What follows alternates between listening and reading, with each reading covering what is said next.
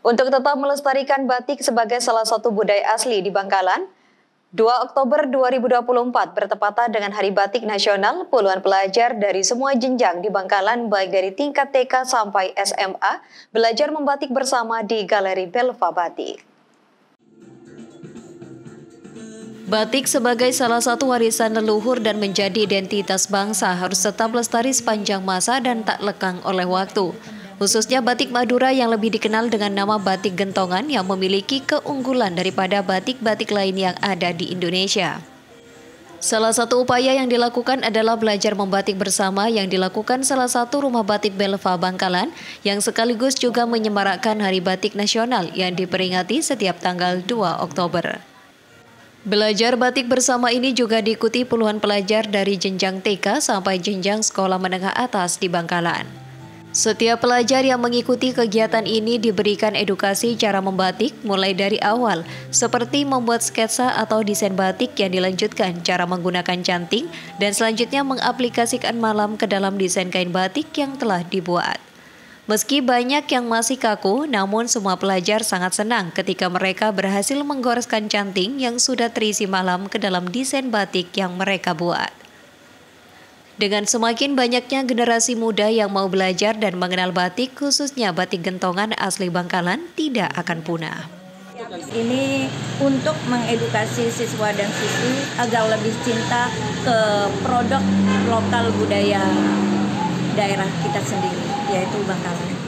Dan kita bangga, Bangkalan punya batik yang eksotik, yang dikenal ke mancanegara. Batik modulnya tetap, tetap unggul, unggul, tetap unggul dibandingkan lain.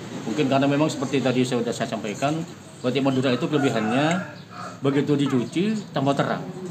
Beda dengan batik lain. Biasanya habis dicuci itu pudar warnanya.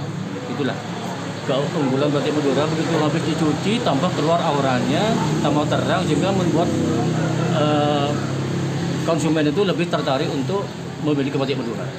Mengenalkan batik kepada pelajar sejak usia dini juga dapat menanamkan kecintaan batik. Hal ini dikarenakan edukasi yang dilakukan akan terekam kuat dalam memori mereka, sehingga akan terus dapat menjaga dan melestarikan batik khususnya batik gentongan asli Bangkalan. Suka batik? Suka. Kenapa? Hmm? Bagus. Bagus. Susah nggak waktu ngambil apa membuat batiknya? Enggak. Enggak.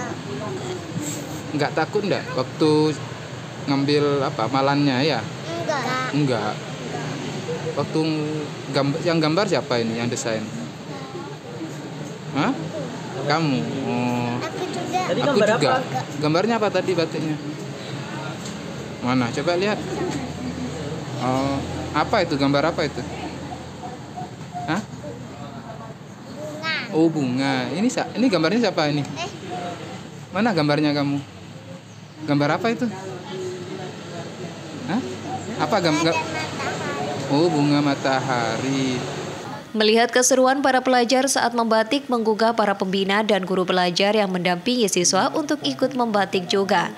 Bahkan ibu-ibu Persit Kartika 0829 Bangkalan yang berkunjung ke rumah batik Belva juga tak mau ketinggalan untuk ikut belajar membatik bersama para pelajar Bangkalan. Muhammad Sahid, JTV.